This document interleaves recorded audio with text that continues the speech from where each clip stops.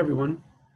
I am going to continue by doing some practice problems related to the traditional square of uh, opposition. So uh, this is section 4.5 and exercise two. The first, so what we're gonna do here is we're gonna use the traditional square to determine whether or not uh, the inferences that are made from the premises to the conclusions are valid or invalid. If they're invalid, then we need to talk about um, the fallacies that are committed. So in the traditional square, it'd be things like illicit uh, conversion. Well, I guess it wouldn't be um, not in the traditional square conversion wouldn't really be applicable, but like illicit subalternation um, or things like that. Uh, so we'll name them if there are fallacies. So this is number one. Um, all advocates of school prayer are individuals who insist on imposing their views on others.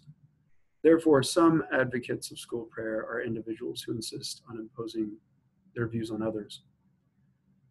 If we change advocates of school prayer to S and individuals who insist on imposing their views on others to P, then the first statement is all S are P and the second statement is therefore. So therefore is a conclusion indicator word. So we know that's our conclusion.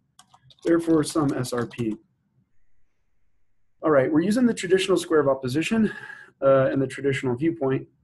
So um, existence matters uh, in universal statements. And what that means is if you have a universal statement in which that is true, um, uh, then um, and you know that the classes uh, actually exist, then if you have an A form statement and a universal affirmative statement, all SRP, then the corresponding um, I form statement, some SRP, is also true.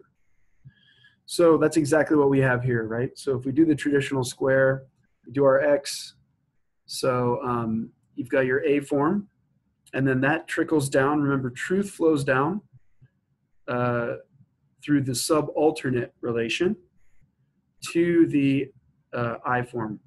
Now, now what we have, but first we have to determine are these actually existing classes of things that we know that actually exist? And uh, in fact, they are. Uh, there are people who advocate for school prayer who actually exist, and there are people who impose their views on others.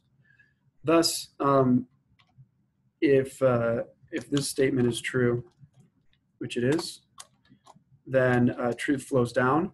And that again is through uh, true by subalternation. All right, let's continue. Okay, this is number two. It's false that no jailhouse informants are people who, who can be trusted. Therefore, some jailhouse informants are not people who can be trusted. First thing, let's find out what the structure of these categorical propositions is.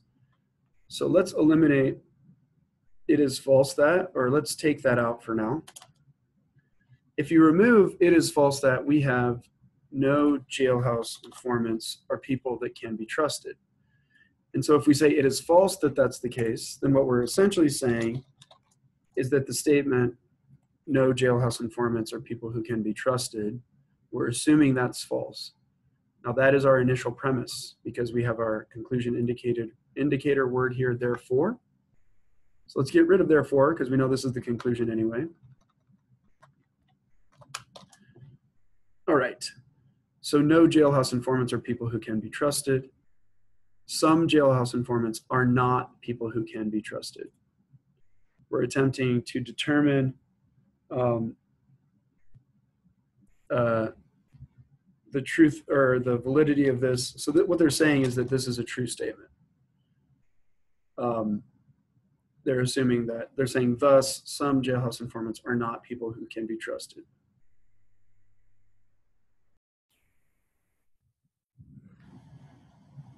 So essentially what we have here is no SRP. That's the first statement, where S is jailhouse informants and P are people who can be trusted. And then we have, therefore, some S are not P. Okay, So we know that no SRP is of the E form. And we know that some SR not P is of the O form. If we look at our square of opposition from the traditional perspective, we're starting with an E, and then we're ending with an O. And what we're saying is that the, the E statement is false, thus the O statement is true. And this is not a valid uh, inference to make. This is called illicit subalternation.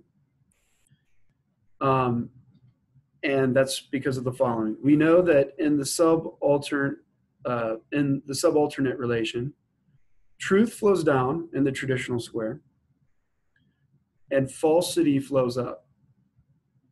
Um, it's not the case that of necessity, if you have uh, a false E statement, that the O statement would, would be true. It's also not the case that of necessity, if you have a false E statement, the corresponding O statement uh, would be false. Thus, we don't know what the truth value of it is immediately.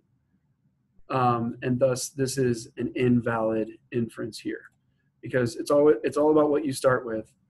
Now, had we started with the O statement being false, then we would know that the corresponding E statement uh, would be false as well. So I'm going to change this up and show you what that is. But we, since we're starting with the E, we know that in the subalternate relation, E statements do not, uh, falsity does not flow down to O statements, and also neither does truth. Uh, well, falsity does not lead to truth either. It's not a, a, a differential relationship. Uh, if an E statement is true in the traditional square, truth flows down to the O. But in this case, we know that the initial claim was it is false that jailhouse informants are people who can be who can be trusted.